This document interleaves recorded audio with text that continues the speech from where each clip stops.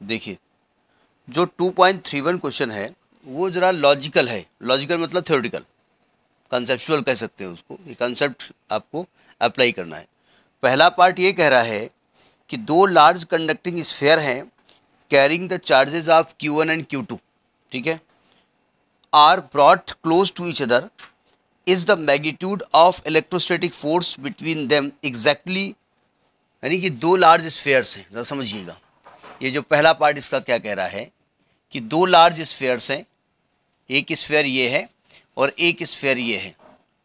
इस पर Q one charge है और कंडक्टिंग स्फेयर है। तो पहली बात तो कंडक्टिंग स्फेयर होगा तो पूरा का पूरा चार्ज कहाँ रिसाइड करेगा? सरफेस पे इक्वली मतलब इक्वल डिस्टेंस पे रहेगा।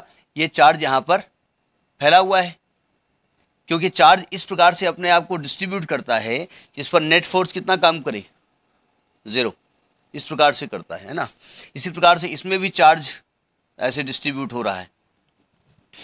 और इनके बीच की जो डिस्टेंस है मान लिया इनके सेंटर के बीच डिस्टेंस आर है जब इस प्रकार से चार्ज डिस्ट्रीब्यूट होता है तो चार्ज को कहाँ पर रखा हुआ माना जाता है? सेंटर पे। ये माना जाता है जो चार्ज क्यू वन कहाँ रखा हुआ है? इसके सेंटर पे रखा ये इस, इसके सेंटर पे ऐसा माना जाता है। ठीक है? तो इनके बीच एक फोर्स काम करेगा। तो फोर्स क्या काम करेगा? एफ़ इज़ इक्वल टू ये कह रहे हैं one upon four pi epsilon nought Q one Q two upon R square. अब ये कह रहे हैं कि अगर इसको नज़दीक लाया जाए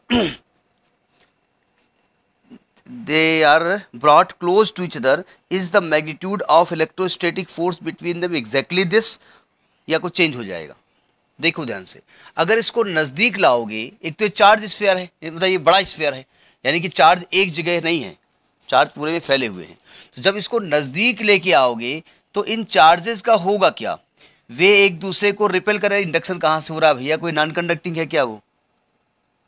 नॉन कंडक्टिंग इंड्यूस करोगे जाकर के कंडक्टर को जाके इंड्यूस कर दोगे तुम। भाई, कोई नॉन कंडक्टर लाओगे तब उसको करोगे ना, ठीक है? भाई इंडक्शन तब होगा जब आप पढ़ रहे हो, कोई दूसरा ना पढ़ रहा हो। तो आपका पढ़ाई देख करके वो कुछ इंड्यूस करेगा वो अपने में खुद जुटा हुआ तुमसे क्या मतलब उसको। देखिए जब इसको नज़दीक लाओगे ना कि ये दोनों चार्जेस एक दूसरे को क्या करेंगे? रिपेल करेंगे ना? रिपेल करेंगे अटेट करेंगे क्योंकि उन्होंने नेचर दिया नहीं हमने नेचर पॉजिटिव मान लिया है या निगेटिव मान लिया रिपेल करेंगे ना? तो जब रिपेल करेंगे तो इस, इस चार्ज का डिस्ट्रीब्यूशन कैसा हो जाएगा? इधर ज़्यादा हो जाएगा नहीं हो जाएगा। और इधर ज़्यादा हो जाएगा नज़दीक आ जाएँगे चार्ज दूर भागेंगे ना ये? ये यहाँ से दूर भागेंगे। उधर भागेंगे तो यानी कि चार्ज का डिस्ट्रीब्यूशन चेंज हो गया। फोर्स भी चेंज हो जाएगा। क्यों? अब चार्ज को यहाँ पर नहीं माना जाएगा। चार्ज कहीं यहाँ पर रिसाइड करेगा जाकर के। जैसे एक सेंटर ऑफ़ मास होता है ना सेंटर ऑफ़ मास कहाँ माना जाता है? ह्यूमन बॉडी का सेंटर ऑफ़ मास नाभि पे होता है। ठीक है? कब? जब यूनिफॉर्मली डिस्ट्रीब्यूट हो मास आपकी बॉडी का। या आपकी बॉडी में पूरी जगह सौ सौ ग्राम के वेट रख दें हम। तो नेट वेट तभी कहाँ काम करेगा? नाभि पे। अब किसी की कमर कमरा हो जाए, इतनी बड़ी कमर। या मान लिया कमर इतनी बड़ी हो जाए और खोपड़ा इतना बड़ा हो जाए तो आप क्या होगा? अभी नाभि पे लगेगा वो सेंटर ऑफ़ मास नहीं कर लगेगा ना? तो एक्चुअली में समझ में बात नहीं आई। तो यानी कि ये जो चार्ज है वो थोड़ा यहाँ कहीं रिसाइड माना जाएगा। यानी थोड़ा सा दूरी इसकी बढ़ जाएगी आर हो जाएगी। तो फोर्स क्या काम करेगा आप आप करेगा one upon four pi epsilon nought Q one Q two upon R one square तो अब बताइए आर वन ज़्यादा कि आर ज़्यादा? तो फोर्स क्या हो जाएगा? कम बढ़ जाएगा या कम हो जाएगा? कम हो जाएगा। यानी कि जो नया फोर्स होगा, वो पहले वाले फोर्स से कम हो जाएगा। यानी कि ये फोर्स चेंज हो जाएगा कुल मिलाकर। उनसे ये मतलब नहीं है कि फोर्स सही रहेगा फोर्स चेंज हो जाएगा। समझ में आई बात? तो ये पहला पार्ट इसका बी पार्ट कह रहा है the if the Coulomb's law involves one upon R cube dependence instead of one upon R square would Gauss's law be still true देखिए गुलाम का जो नियम होता है उसमें दो चार्जेस के फ़ी जो फो, बीच फोर्स का फॉर्मूला होता है वो इनवर्स स्क्वायर लॉ को फॉलो करता है। और इस लॉ को लगाते हुए हमने जो गॉस थ्योरम प्रूफ की है क्या फॉर्मूला होता है? E dot D S is equal to Q upon epsilon तो होता है ना? यही होता है ना? तो जब हम ई e का फार्मूला यहाँ रखते हैं तो ई e का फार्मूला क्या होता है? One upon four pi epsilon nought Q upon R square और into D S is equal to Q upon epsilon nought. तो देखिए, यहाँ भी क्यू अपान एप्सिलॉन नॉट है और यहाँ भी क्यू अपान एप्सिलॉन नॉट है। भाई, दोनों तरफ़ सही है, उसके लिए हम चेक कैसे करेंगे? या तो प्रूफ करें, या तो डायमेंशन से चेक करें। और यहाँ पर डी एस का जो डायमेंशन क्या होगा? एल स्क्वायर और आर स्क्वायर का डायमेंशन क्या होगा? एल स्क्वायर तो दोनों तरफ़ डायमेंशनली करेक्ट हो जाएगा। और अगर ये कह रहे हैं कि अगर Coulomb's law inverse square law की बजाय वन अपान आर क्यूब पे डिपेंड करता तो क्या गॉस थ्योरम सही होती? नहीं होती। क्योंकि ये अनबैलेंस हो जाती ना। अगर यहाँ पर आर क्यूब आ जाता और हम डायमेंशन लिखते तो इधर की डायमेंशन तो वन अपान एल आती। मतलब जो भी आती वन अपान एल एक्स्ट्रा आता ना इसमें। इसलिए दोनों तरफ़ ये सही नहीं होता। यानी कि इसको इन भाई इन्वर्स स्क्वायर लॉ को यूज़ करके ही तो ये आपने प्रूफ किया था। तो अगर कुलाम्स लॉ इसको फॉलो करता है, अगर अगर लगा दिया ना तो यानी गॉस थ्रम में एप्लीकेबल नहीं होगी गॉस थ्रम में अप्लाई नहीं किया जा सकता। बात सुन में आई सी पार्ट कह रहा है कि a small test charge is release at rest at a point in an electrostatic field configuration एक इलेक्ट्रोस्टैटिक फ़ील्ड है। उस फ़ील्ड के अंदर, एक, इसको बंद करो। एक स्मॉल टेस्ट चार्ज छोड़ दिया गया रिलीज़ कर दिया गया। तो कहते हैं will the will it travel along the field line along the field line passing through the point क्या वो फ़ील्ड लाइन के अलॉन्ग चल ट्रेवल करेंगी? अब ये डिपेंड करता है दो बात पे कि जो आपका फ़ील्ड लाइन वो कैसी है। फ़ील्ड यूनिफॉर्म है या नॉन यूनिफॉर्म है? ठीक है? ये तो हम जानते हैं कि किसी भी इलेक्ट्रिक फ़ील्ड में अगर कोई टेस्ट चार्ज छोड़ दिया जाए तो उस पर एक फोर्स एक्ट करता है। बराबर Q nought into E force तो लगेगा। जब फोर्स लगेगा तो एक्सीलरेट भी करेगा मूव भी करेगा। ये तो हम जानते हैं। लेकिन वो किस पाथ में मूव करेगा? ये कह रहा है along the electric field move करेगा नहीं करेगा? ठीक है? किस प्रकार से मूव करेगा? तो ये डिपेंड करता है कि ये फ़ील्ड जो है, कैसा है। देखिए ध्यान से। पहला दो केस यहाँ पर आते हैं। इफ़ ई इज़ यूनिफॉर्म अगर ई e यूनिफॉर्म है तो अब सिंपल सी बात है यूनिफॉर्म इलेक्ट्रिक फ़ील्ड कैसे बनाया जाता है? इक्वल डिस्टेंस पे ये लाइंस आप खींचते हैं। यही होता है ना? और उसमें अगर कोई टेस्ट चार्ज आप छोड़ देते हो प्लस क्यू नॉट तो इलेक्ट्रिक फ़ील्ड के अलॉन्ग वो एक स्ट्रेट लाइन में मूव करेगा। तो आप कहेंगे कि अगर टेस्ट चार्ज किसी यूनिफॉर्म इलेक्ट्रिक फ़ील्ड में मूव छोड़ा जाएगा तो it will move along a straight line वो स्ट्रेट लाइन में मूव करेगा, ठीक है?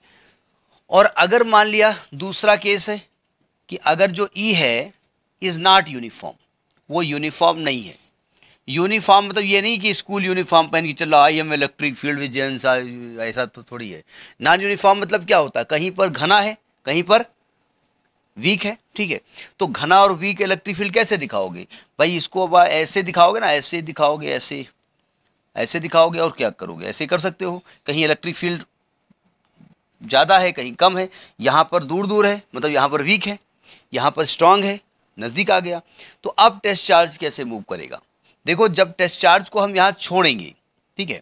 तो टेस्ट चार्ज एक्चुअली में जैसे, जब इस फोर्स की वजह से एफ़ बराबर क्यू नॉट ई की वजह से मूव करना शुरू करेगा तो जैसे ऐसे मूव किया वो तो यहाँ यहाँ छोड़ देते हैं। ऐसे मूव किया वो तो मूव करेगा तो एक्चुअली में तो सीधे मूव करेगा।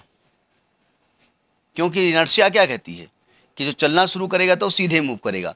लेकिन जैसे इधर जाएगा तो उधर चिल्लाएँगे, अम्मा हाँ इलेक्ट्रिक फ़ील्ड तो इधर आई नहीं। यहाँ कहाँ जा रही हो? तो वो इधर मुड़ जाएगा किधर इलेक्ट्रिक फ़ील्ड डायरेक्शन में। यानी वो वीक इलेक्ट्रिक फ़ील्ड से स्ट्रॉन्ग इलेक्ट्रिक फ़ील्ड को मूव करने की कोशिश करेगा। वो अलॉन्ग द इलेक्ट्रिक फ़ील्ड ही चलेगा, लेकिन किधर चलेगा? वीक इलेक्ट्रिक फ़ील्ड से। भाई, जैसे आपका जो अर्थ है या जो भी सन के चारों ओर रिवॉल्व करते हैं, वो सर्कुलर पाथ में नहीं रिवॉल्व करते हैं, वो एक्चुअली में रिवॉल्व करते हैं स्ट्रेट लाइन पे। अब ये मान लिया सन है और ये अर्थ है तो अर्थ घूमती ऐसे है। लेकिन उस पर क्या होता है, उसके घूमने के परपेंडिकुलरली एक फोर्स लगा करता है। तो जैसे वो ऐसे मूव करना शुरू किया, वैसे एक फोर्स सेंटर की ओर लग गया तो ऐसे मूव करना शुरू कर दिया। फिर फोर्स लग गया तो ऐसे मूव करना शुरू कर दिया। चलती वो परपेंडिकुलर ही है। तो ये चलता स्ट्रेट लाइन में ही है। लेकिन चूँकि इधर जाएगा तो इलेक्ट्रिक फ़ील्ड खत्म हो जाएगा ना। इलेक्ट्रिक फ़ील्ड तो इस डायरेक्शन में है तो वो स्ट्रॉन्ग इलेक्ट्रिक फ़ील्ड की ओर मूव करता है। ठीक है along the electric field from weak electric field towards strong electric field ठीक है तो ये इसका आंसर होगा। ठीक है? देखिए, इसका डी पार्ट क्या कह रहा है कि what is the work done by the field of the nucleus in a complete circular orbit of electron and what is the orbit what is the orbit if it is elliptical मतलब अगर कोई nucleus है और उसके चारों ओर electron किसी circular orbit में घूम रहा है तो देखो सिंपल सी बात, ये न्यूक्लियस जो है, ये एक इलेक्ट्रिक फ़ील्ड क्रिएट कर रहा होगा, ठीक है? तो इसके चारों ओर इलेक्ट्रॉन एक सर्कुलर ऑर्बिट में मूव कर रहा है, ये इलेक्ट्रॉन मूव कर रहा है तो इसके कंप्लीट ऑर्बिटिंग करने के दौरान कितना वर्क करना पड़ेगा? पहली बात तो आप जानते हैं कि ये एक क्लोज पाथ है। और क्लोज पाथ में जब बॉडी घूमते घूमते अपने उसी ओरिजिनल स्टेट में आ जाती है तो वर्क डन क्या होता है? ज़ीरो होता है एक सिंपल लॉजिक वर्क का होता है, चाहे फोर्स किसी वजह से लग रहा हो, ठीक है? तो आप लिखेंगे because it is a complete path it is a close path so work done will be zero path चाहे जैसा हो। अगर मान लिया ये न्यूक्लियस होता और ये जो पाथ इलिप्टिकल होता इलिप्टिकल होता, तब भी ये पाथ कैसा होता? तब भी ये पाथ क्लोज होता। तो उस दौरान भी वर्क डन कैसा होगा ज़ीरो तो आप कहेंगे वो सर्कुलर पाथ हो चाहे इलिप्टिकल पाथ हो because path is closed so work done will be zero एक कंप्लीट ऑर्बिटिंग में कंप्लीट साइकिल में वर्क डन क्या होगा इसका? ज़ीरो होगा. ठीक बात? देखिए ई e पार्ट कह रहा है कि we know that electric field is discontinuous across the surface of charge conductor किसी चार्ज कंडक्टर में जो इलेक्ट्रिक फ़ील्ड होता है, वो डिसकंटिन्यूस होता है। पहले इस बारे में बात कर लेते हैं। देखो, आप जानते हैं अगर कोई कंडक्टर है, मैं फ़िलहाल स्फेरिकल ले लेता हूँ। ये माला एक कंडक्टर है, ठीक है? और आपने इसको चार्ज दिया। तो चार्ज देने पर कंडक्टर में चार्ज जाता कहाँ है? उसके सरफेस पे चला जाता है ना? उसके सरफेस पे जाता है। मान लिया जाता है कि चार्ज कहाँ पर है? इसके सेंटर पे है। जैसे सेंटर ऑफ़ मास हमने बताया ना कि मान लिया जाता है कि नाभि पे होता है, लेकिन एक्चुअली में वो डिस्ट्रीब्यूट पूरी बॉडी में होता है है ना? तो ये सरफेस पे होता है और इसके अंदर इलेक्ट्रिक फ़ील्ड कितना है? ज़ीरो अगर हर जगह ज़ीरो ही रहे तो इलेक्ट्रिक फ़ील्ड कंटिन्यूस हो जाएगा। लेकिन जैसे ही हम सरफेस पे पहुँचते हैं वही तो इलेक्ट्रिक फ़ील्ड कितना हो जाता है? One upon four pi epsilon nought Q upon R square यानी ये मैक्सिमम हो जाता है। यही होता है ना? और जब हम आगे बढ़ते हैं तो इलेक्ट्रिक फ़ील्ड कम होना शुरू हो जाता है। तो यानी इलेक्ट्रिक फ़ील्ड और आर के बीच अगर हम ग्राफ खींचें आर और इलेक्ट्रिक फ़ील्ड के बीच में तो कुछ डिस्टेंस तक तो इलेक्ट्रिक फ़ील्ड ज़ीरो होता है। आर डिस्टेंस तक। और जैसे सरफेस पे आते हैं, वैसे इलेक्ट्रिक फ़ील्ड हो जाता है इतना। बोले तो मैक्सिमम है ना? और इसके बाद इलेक्ट्रिक फ़ील्ड घटने लगता है। तो यानी कि अगर हम मान लें, हम मान लें, भाई इलेक्ट्रिक फ़ील्ड है, हम कैसे पहचानेंगे? बाहर से कोई टेस्ट चार्ज आ रहा होगा ना। तो जब यहाँ से टेस्ट चार्ज आ रहा होगा कोई इन्फिनिटी से प्लस क्यू नॉट तो जैसे जैसे नज़दीक आता जाएगा, वैसे वैसे फ़ील्ड की वजह से फोर्स बढ़ता जाएगा, यानी उसको लगेगा कि इलेक्ट्रिक फ़ील्ड बढ़ रहा है, बढ़ रहा है, बढ़ रहा है, बढ़ रहा है। और जब यहाँ आएगा तो फोर्स मैक्सिमम हो जाएगा। और जैसे अंदर जाएगा, अरे वाह, यहाँ तो कोई बल नहीं लग रहा है फ्री फ्रीडम कोई कुछ पूछ ही नहीं रहा है। नहीं समझे? तो अंदर इलेक्ट्रिक फ़ील्ड क्या हो गया? तो ये है डिसकंटिन्यूस है। ब्रेक हो गया ना वहाँ पर इलेक्ट्रिक फ़ील्ड चलिए, देखिए, कम होते होते, ज़्यादा होते होते होते होते, ज़्यादा होता चला जाए तो वो कंटिन्यूस कहलाएगा। लेकिन एकदम से ज़ीरो हो जाए, इसके बाद तो कैसा हो जाएगा? डिसकंटिन्यूस तो यानी कि ये तो दिया हुआ है। ये कुछ कहना ये दिया हुआ है। डिसकंटिन्यूस होता है। ठीक है? लेकिन मैंने समझाया डिसकंटिन्यूस कैसे होता है। तो ये पार्ट पूछ रहे हैं कि ये बताइए कि is electric potential also discontinuous क्या इलेक्ट्रिक पोटेंशियल भी डिसकंटिन्यूस होता है? नहीं। हमने पढ़ा है कि इसके अंदर इलेक्ट्रिक पोटेंशियल हर जगह कांस्टेंट रहता है। और उतना ही रहता है जितना इसके सरफेस पे रहता है। यानी v बराबर हमने क्या पढ़ा है? One upon four pi epsilon nought Q upon R कहाँ पर होता है? इसके सरफेस पर होता है और इतना ही इसके अंदर भी होता है। और जैसे जब दूर जाते हैं ना तो वो धीरे धीरे कम होना शुरू हो जाता है। लेकिन ज़ीरो नहीं होता है, ठीक है? यानी इलेक्ट्रिक पोटेंशियल के अगर हम ग्राफ खींचें तो जिस समय ये आर है, ये पोटेंशियल है। जब आर ज़ीरो है तो पोटेंशियल वी है। आर की वैल्यू जब तक आर है, तब तक पोटेंशियल क्या रहेगा हमेशा? वी रहेगा। और जब आगे बढ़ेंगे, तब ये पोटेंशियल कम होना शुरू हो जाएगा। तो इट इज़ नॉट डिसकंटिन्यूस ठीक है, क्योंकि इसके सरफेस के अंदर भी कांस्टेंट रहता है और सरफेस के बाहर जाने पर इसकी वैल्यू धीरे धीरे कम होती रहती है, ठीक है। लेकिन ब्रेक नहीं होती ज़ीरो नहीं होती। देखिए एफ़ पार्ट क्या कर रहा है कि what meaning would you give a capacitance of a single conductor भाई कैपेसिटर में क्या होता है? कैपेसिटेंस होता है कैपेसिटर का। अब कहते हैं किसी सिंगल कंडक्टर का कैपेसिटेंस होता है। तो देखिए, अगर मैं एक सिंगल कंडक्टर ले रहा हूँ, यानी मान लिया इस पर चार्ज कितना है? प्लस, ठीक है? तो यहाँ से एक इलेक्ट्रिक फ़ील्ड क्रिएट होगा। इलेक्ट्रिक फ़ील्ड डायरेक्शन क्या होगी? प्लस से दूर माइनस की ओर, प्लस से माइनस, यानी इलेक्ट्रिक फ़ील्ड जा किधर रहा है? यानी अगर जा रहा है तो किधर जा रहा है? माइनस तरफ़ जा रहा है। अगर आप शादी वर्दी में इसके पीछे चलना शुरू करो, इसकी जो है खुफिया जानकारी करो तो अंत में देखें किसी घर में कुछ जाएगा। वे इधर जा रहा था, किधर जाएगा? ये इन्फिनिटी की तरफ़ जाएगा। तो कह रहे हैं, अगर ये जा रहा है तो जा किधर रहा है? तो यानी कि इन्फिनिटी में एक प्लेट है, कैसी? नेगेटिव है, वो इन्फिनिटी में है। ठीक है, मान ली जाती है। तो ये केक कैप्चर हो जाएगा। भाई, उन्होंने कहा सिंगल सिंगल कंडक्टर ये वर्ड क्या यूज़ किया? कि सिंगल जो कंडक्टर है, कहाँ गया? सिंगल कंडक्टर के कैपेसिटेंस के बारे में क्या बात करेंगे आप? तो आप कहेंगे, साहब कैपेसिटेंस तो कैपेसिटर का होता है।